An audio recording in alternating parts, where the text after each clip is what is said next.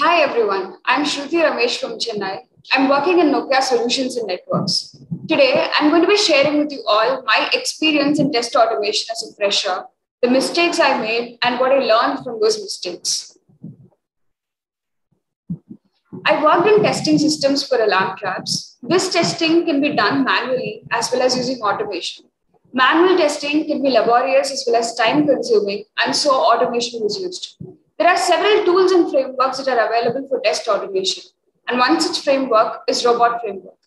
In Robot Framework, test cases are written to test and automate software processes. For example, in this picture, we can see that there are two test cases, my test and other test, and another test. These test cases form what is called a suite. Therefore, a suite contains several test cases. We can also write keywords that can be common to the test suite and we can include these keywords inside our test cases as per the requirement. Now let me share two of the many mistakes that I did and, and what I learned from those mistakes. One was I did not check for consistent pass of test cases.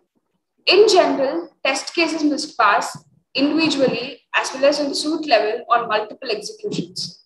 I did not check if my test cases passed on all the executions. And because of this, on later executions, some of the test cases failed.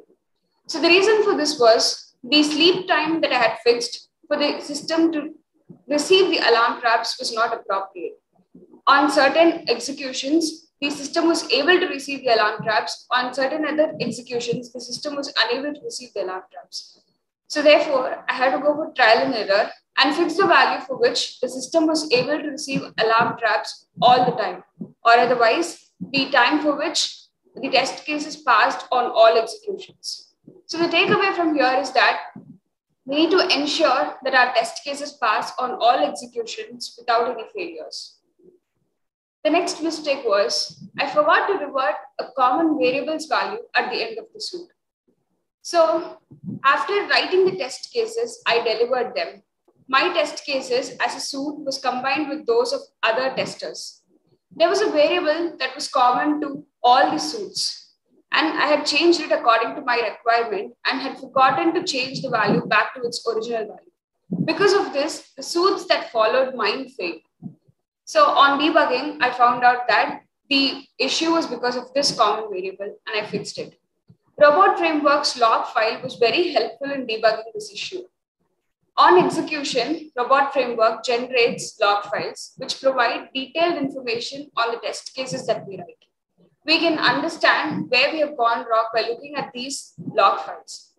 So therefore, we need to ensure that the test cases that we write do not affect other testers' test cases or any other test cases in general.